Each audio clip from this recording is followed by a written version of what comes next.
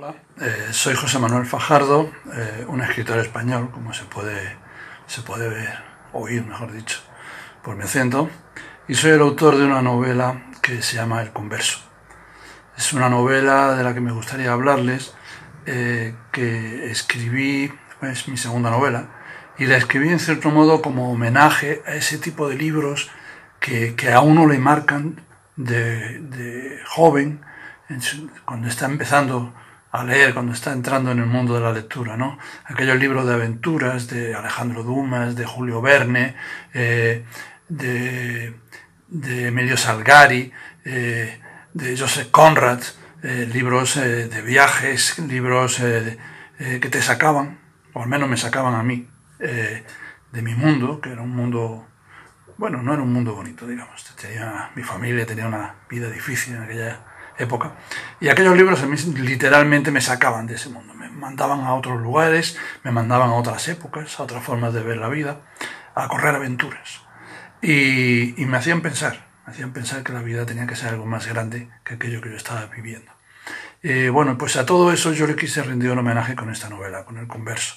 Es una novela de piratas, una novela que transcurre en el siglo XVII, que comienza a bordo de un, de un galeón donde dos personajes, un, judío converso que ha nacido en, territorio de América, en una época en que los judíos, incluso los conversos, tenían prohibido el viaje, viajar o, estar en América, y que por lo tanto pues, tiene que vivir su condición, eh, su identidad como un secreto.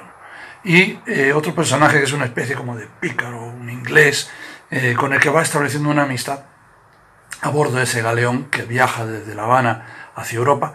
Y la novela va contando la, relación de estos dos personajes a lo largo de toda una vida, cómo se van entrecruzando sus caminos, cómo se van tejiendo las redes de esa amistad y cómo van viviendo aventuras, amores, desamores, prisiones, guerras, sueños, eh, sueños fracasados, sueños cumplidos, eh, a lo largo de todas sus vidas. Es un libro que me divirtió mucho escribir, eh, en el que trabajé mucho el lenguaje también, porque yo quería que tuviera un lenguaje más musical que este lenguaje un poco áspero que tenemos en España hoy en día. Un lenguaje que bebiera un poco de las fuentes de, de la literatura del siglo de oro. Ese tipo de lenguaje que en América Latina ha sobrevivido, con una música más, más fluida, más, más alegre, ¿no? más elástica.